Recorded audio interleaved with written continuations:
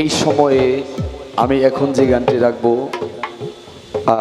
এটা একেবারে এই সময়ই ভালো লাগবে।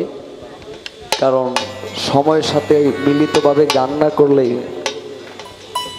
মানে জ্ঞানীদের কাছে আমরা ধরা হয়ে যাব তাই সব সময় আমি সময়ের সাথে হিসাব করে গান রাখি। তারপরে একটি হয়তো মায়ের গান বা একটি ধর্মীয় একটি গান আমি রাখব। ভালো লাগে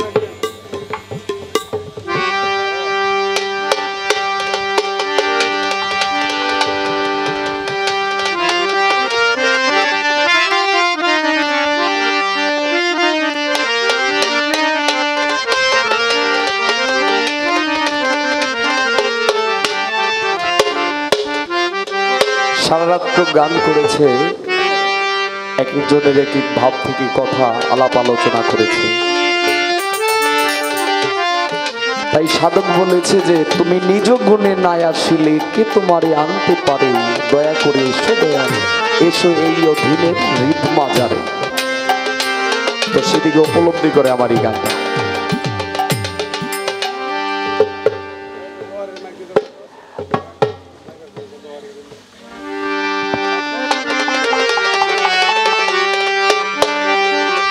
আমার বাড়ি আসতে যদি তুমি কষ্ট পাওই রাঙা